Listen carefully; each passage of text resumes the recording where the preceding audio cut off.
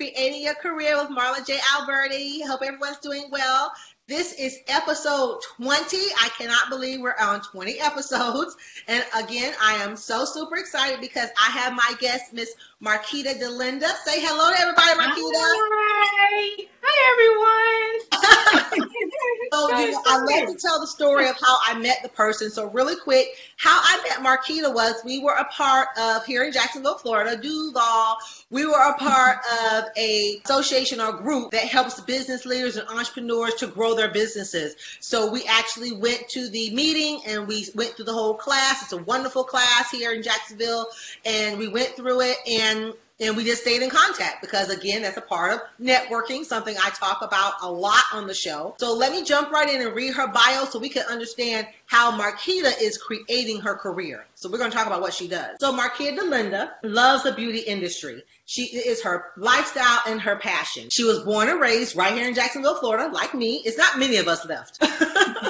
She is a licensed cosmetologist and something i did not know She's a, mas- a massage therapist as well. She's been a licensed cosmetologist for 18 years and she's been a massage therapist for eight years. So we're, we're going to talk about that. Her specialties include, but they're definitely not limited to, kid styling, braiding, hair extensions, massages, facials, and many more areas. When she's not serving her clients and her guests, she's a wonderful wife and mother to two beautiful young ladies. She loves spending her time with family and friends, but she also considers herself to be reliable, honest, and she loves and believes in the fact of learning and continue to grow in her industry. She wants to be the best in her industry and, and understand how to be that ideal hairstylist and massage therapist in her profession.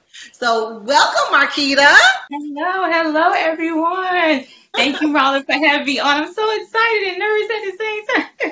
No, it's okay. It's okay. That's what people like about the show. People like that it's nice and flowy and smooth. So Right. let's start there. Tell us about Marquita and and from your past, and you can go back as far as you want to, to a little bit up to now. How did your story begin? Well, my story began actually right out of high school. Um, I was supposed to go to the military. That was my my go-to. I was like, I'm going to the Navy. But then that sidetracked. I don't know how I got into hair. I wasn't the one who played with my cabbage patch and all that kind of stuff. Like girls say they play with their Barbies and all that. That wasn't me. I was not that girl. I was a little tomboyish.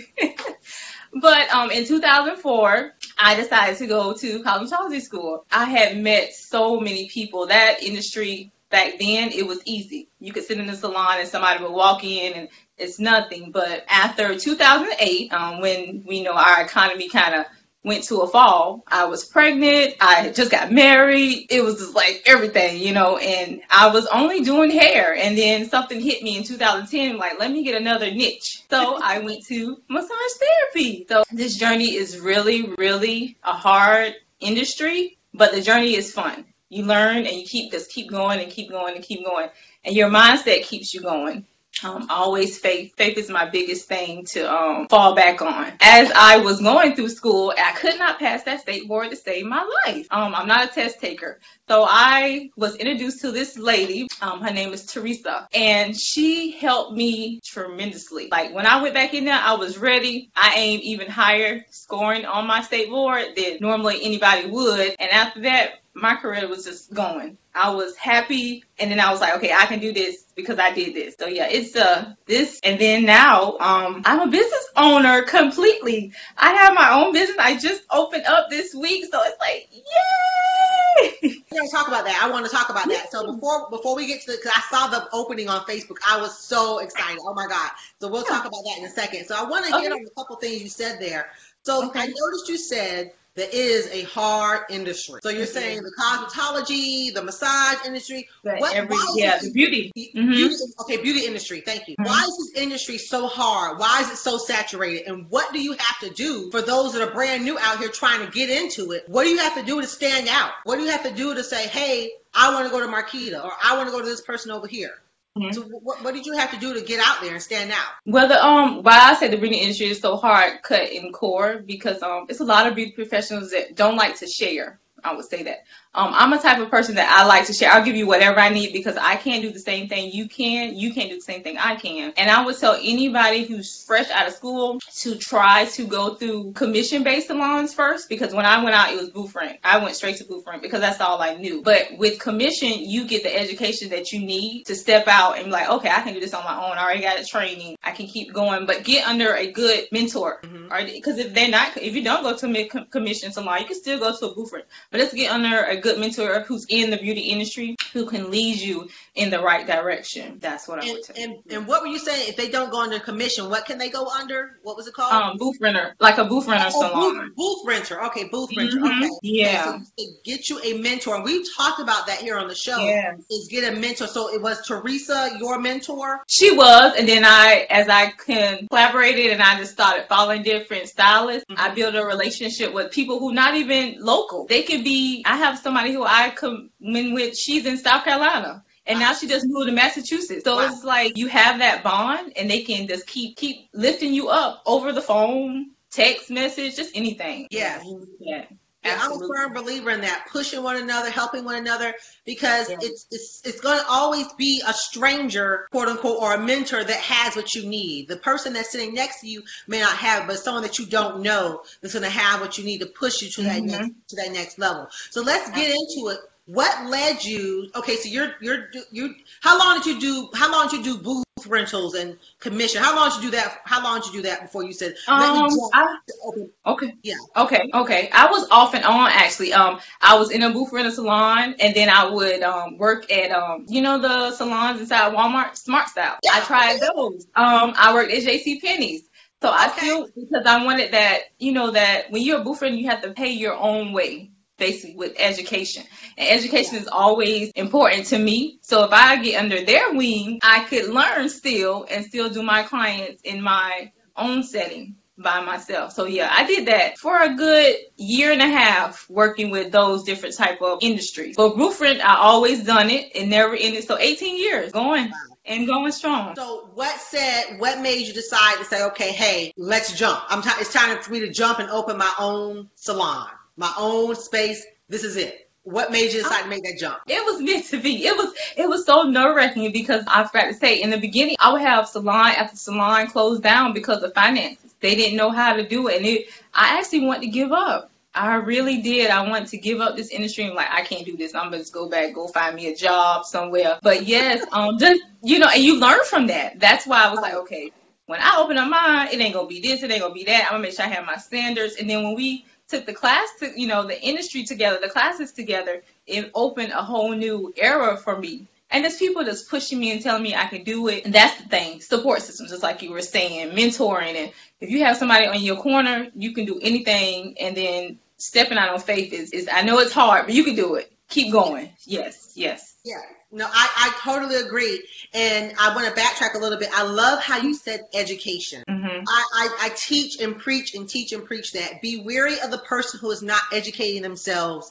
So if so if you want to get that mentor, guys, if you want to get into this field or any field, find someone who's in the field and doing it, but make sure they're educating themselves because you can't get to the point where you know everything right? You, you, you can't say, well, I know that already. No, you have to keep learning. You have to keep studying.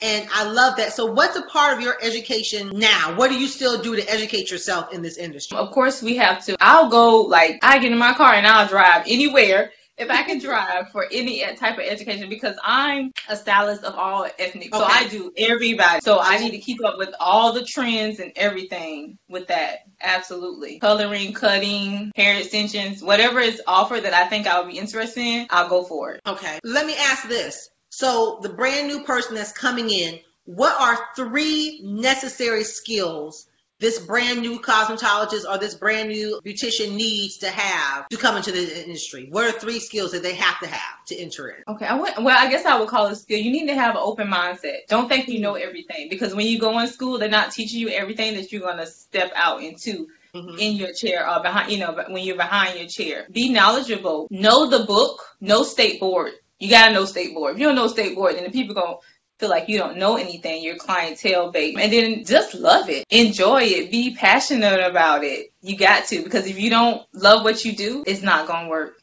Mm-hmm. Okay. Absolutely. I, am a, I'm so glad you said that last because I'm a firm believer. If you don't love, if you don't love what you're doing, it's going to show. It's going. I, I actually went through a coaching session not too long ago because I'm a coach, so I believe in having a coach. You right. need to have a coach. If if you are a coach, you need to have a coach. Okay, I'm not going to say that mm-hmm. again. All right. So I was talking to my coach the other day, and he said to me, I was talking about some things that I want to do, and he said my voice raised when I started talking about something else. You know, and my voice went this way when I started talking about something else. So again, your passion has to come out. Even when you're doing the hair, I can tell. I've been to a couple of stylists in the past where I could tell that they've been doing it so long, they were comfortable. They were mm-hmm. comfortable. They, the passion wasn't there. It was more than I've been doing it for 20 years. It's my job now. I can mm-hmm. tell that the passion had kind of drained out of them. You know, right. so you know, you got to keep the passion going because that's what that's if you're motivated, me being a client coming to you is what's going to make me motivate, right? Exactly. So I want to talk to you about this this opening. So what steps did you have to take to get your own space and open up? Because that, that is a huge jump. Like people go from booth to opening up their own location. So you opened your own location. Congratulations on that. So what Thank were the steps you had to take to open this location that is now your your spot? You're no longer renting a booth. You're, you're renting booths to other people right? right. So how did what what was that process like? How did you get into the door and open up your own booth? I mean, your own shop. I already had the steps to know what I need to take because I did my research. I'm a research person. Uh-huh. I don't step into something until I know everything I need and get my ducks in a row. But it was an easy transition for my clientele, and I thank the Lord for my clientele because everybody's followed me as through my journey since 2004. So it was like thank you, Lord, you know.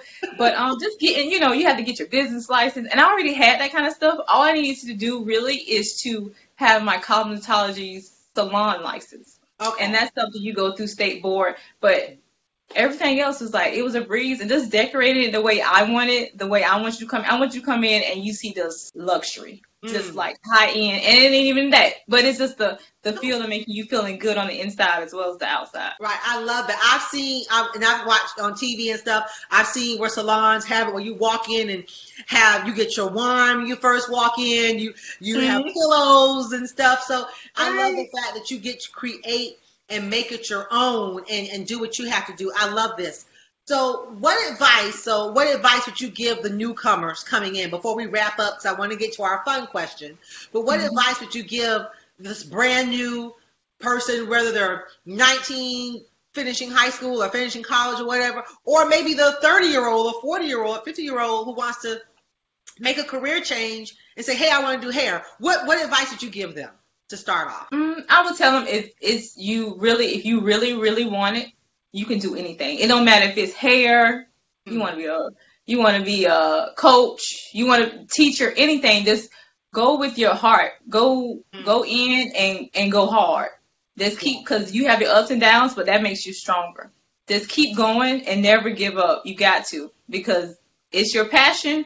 You're gonna love it until the end. And I'm glad you said that. That goes back to something that reminded me that you said because mm-hmm. you said that you didn't. You said you wanted to give up. Mm-hmm. What made you stay in? Was it that? What, what made you not give up? So I no, I get it. I, I trust me. There's there's been many times, many times I can count more than on my hand, my fingers that I want to give up. Like just bump it. This is this is ridiculous. What right. made you keep going? It was my why. Um, I mm-hmm. have learned through time through a lot of other network that I'm in, and a lot of you know my side mm-hmm. side um, hustles or whatnot. They always come with what's your why Mm-hmm. And that's a big part. My why is my kids. Oh. Ah. Um, my girls are my heart. So if I want better for them, I'm going to do whatever I can. So mm-hmm. always think about that. What's your why? Your why should make you cry. Your your why should make you feel happy at the same time. So yeah, always think about that too. Just just sit back and meditate on that. What's my why? What can I better myself at? What can I do to get where I want to be at, and everything will just fall into place. Oh, I, I love that. Thank you so much for saying that, Marquita, because mm-hmm. I'm big on the why. That that's why I started this talk show. I didn't have all the bells and whistles. I still don't have the bells and whistles, but I believe the content is so rich because I firmly believe that if there's if not not everybody, but if there's something inside of you that you want to do, I believe you can do it. But I have had to learn the lesson that I can't believe more in that person than they believe in themselves. So that's where you have to, all I can do is put it out there. Like what they say is, you can lead the horse to the water, but you can't make them drink it. So I right. I could put the information out there for free on YouTube. People can watch and figure out how are other people creating their careers and they're doing it. They're actually doing it. You don't have to be a gazillionaire to go out there and make change and make difference. You know. Now, if you right. if you're climbing on the, in that direction, great. That, that, and we should be. You should be climbing income wise every year. I mean, I don't think right. wants to drop in income, but hey, I don't know. But but you should be climbing in a certain direction every year, and that should be able to help you as well as if you, the more and more you're helped, the more and more people you can help. So I love mm-hmm. that. So let me sum it up so we can get to our fun question. So mm-hmm. we have learned today keep an open mindset. Make sure you know your know your industry, know what the state board needs, know your skills, know your why, understand other people, get with other people, mentor with other people. Don't try to be the know-it-all. Take your time and be slow with it. I love the quote. Kevin Hart said it, and I think another person said it. Overnight success takes 20 years right? right? So you've been in this thing 18 years, you're massage therapy eight years, and you're still grinding. You're still doing it. So you cannot give up. I think that is a theme of a lot of my um top of a lot of my shows is is mm-hmm. you can't give up. So you got to keep going. So I want to thank you so much for this, Marquita. So let's get to our fun question. Okay. So the fun question is, can you tell us something legally that you can share? tell us something that the world may not know about Marquita Delinda that you can legally share. Um, well, so funny. Um, I'm actually a, a clown. Um, I'm really silly. Um, I love to have fun. I'm a kid. I'm a big kid at heart, like yeah. truly. And people don't know they take me so serious, but I'm really a nut. I am too silly. I, I like. To, I like to make you know just be silly. Just be yourself. I love to laugh. So that's you know I'm I'm really goofy. I'm really goofy. I am. I'm the same way too. I can those who really, really, really, truly know me. Right. Believe it or not, it's not many people who really, really, truly know me. Uh, it, it is a few, but not not many, and they, they know who they are.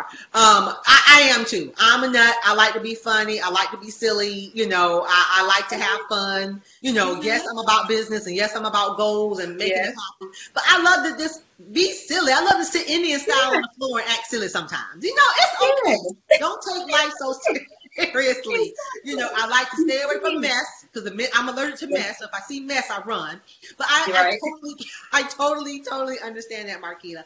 Well, tell the world, and I will have links down below. Tell the world how can they get in contact with you, Marquita Delinda? How can they find you if they're here in Jacksonville and want to get their hair done, or you travel to different places. Like you said, you love to get in your car and go. How can they re- get in contact with you? Um, um, I'm on Facebook, Instagram, and my my website is MD Hair Studio. So everything okay. is the same. Yeah, I got everything linked the same, so you don't have to search for me. Um, exactly. But I totally thank you, thank you so much for the opportunity.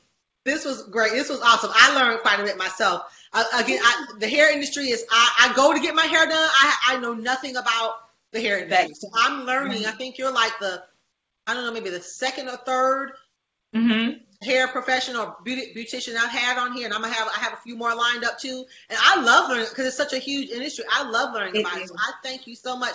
Guys, her information, all the links she just said, we're going to have those linked down below. If you want to get in contact with her, please do not hesitate to get in contact with her. Come down to Jacksonville, go to her salon, get into that experience of feeling luxury when you walk into her salon and reach out to us. If you want to be interviewed, feel free to contact me at contact at truthspeakscoaching.com. It will be down below. Please, please, please, if you like this content, don't forget to subscribe and hit the little bell there for notifications, guys. And we will see you guys next month for episode 21, where I have another awesome guest lined up. All right, guys, talk to you later. Bye-bye.